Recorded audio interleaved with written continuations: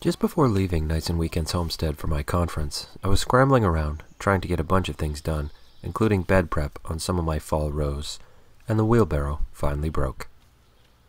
I may have lost the chickens, but at least I can save this.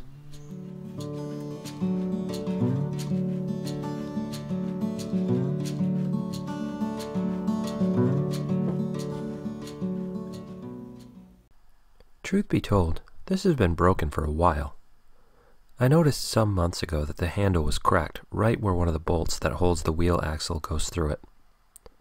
I'm never one to throw something away when there's still life left in it, and this handle was no exception. I knew it would likely break when I had the wheelbarrow loaded, and it did disappoint. I loaded up this compost and then went to roll it over to the beds I was prepping, and the wheel finally gave way.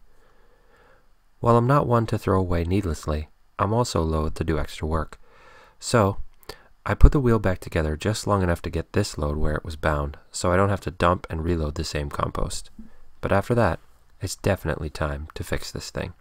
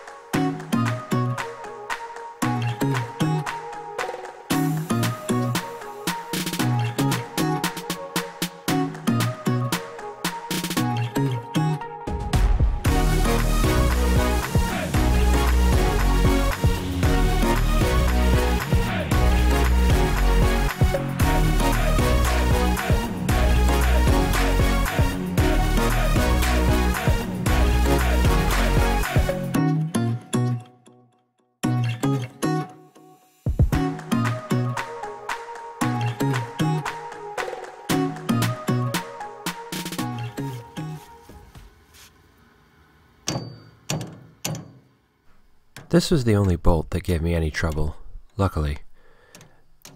The bolt and I definitely had a disagreement about whether or not it was coming out. It certainly was one way or another. When using a hammer to get out a rusty bolt like this, I often try to hit the nut if I can, so as not to mess up the threads on the end. That way, I'll still be able to get the nut off when I finally can loosen it.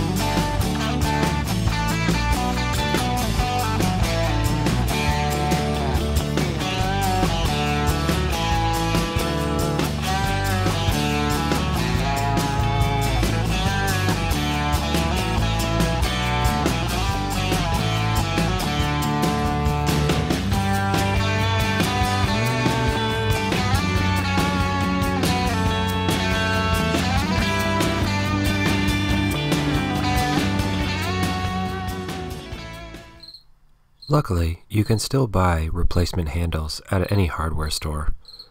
Well, at least the hardware stores where I am. Of course, they don't come pre-drilled, which means there's still a little bit of work to do to make sure I can make this handle fit this wheelbarrow.